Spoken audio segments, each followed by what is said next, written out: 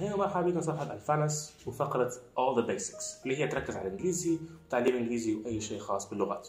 اليوم حركزوا على شيء هو معروف للكل هو الأرقام.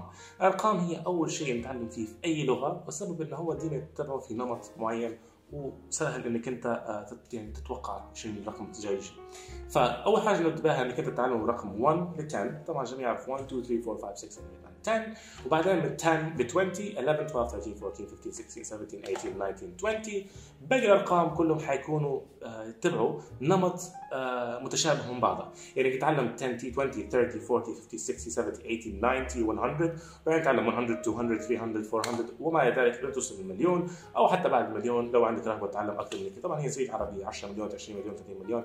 بعدين بقى ارقام سهلة إنك تتوقعها مش كيف يجوا. مجرد الموضوع مجرد إن هو تتمرن عليه تاخذ شوية آه يعني دقائق من وقتك في اليوم تتمرن عليه. وبعدها يولي بسيط جدا. وأنا حوريك كيف تديروه في نهاية الفيديو هذا. فعلى اي حال.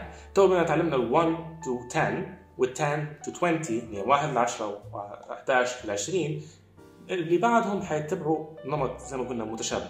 فلو نعدوا لو حفظتوا ال 20 لل 100 أول شيء أبدوا بالواحد لل 10 اللي كنتوا تحفظوهم تقدروا تكتبوهم حتى بالإنجليزي. يعني كتابتهم كويسة حتفيدكم. لأن هلبا حاجات حتكون مكتوبة كتابه بحروف مش حتكون مكتوبة بالأرقام؟ فكويس إنك تحفظوا الأرقام تاعها تتمرنوا حتى على رقمين أو حتى 10 في اليوم. حيكون حيفيدكم أسبوع إنك تعلموا جميع الأرقام. فبعد ذلك تعلموا 11 ل 20 بعد من 20 لل 100 100 ل 1000 وما إلى ذلك. يعني كل مرة تاخذوا آه، فئة معينة وتتمرنوا عليها تاخذوا عليها يوم أو أقل. يعني بعكس انت لو يوم واحد آه، يوم واحد مريت عليهم كلهم اليوم الثاني كنت عليهم اليوم الثالث خلال الأسبوع حتيجي تعدوا من واحد في أرقام مع الناس هاي الحال التمرين اللي عليكم تديروه. إنكم زي ما قلت لكم تعلموا اول حاجة من 1 to 10 11 to 20 20 100 بالترتيب هذا بعدها تحطوا أي أرقام اكتبوا مش لازم حتى تصوروهم في بالكم أو تصوروهم في بالكم أو اكتبوهم في تليفونكم أو أي مكان وحاولوا إنكم تقولوهم. بعدين حطوهم في مترجم اكتبوهم حتى بالعربي حطوهم في مترجم وشوفوا هل قلتوهم صح أو خطأ. أهم شيء تركزوا عليه اللي هو النطق.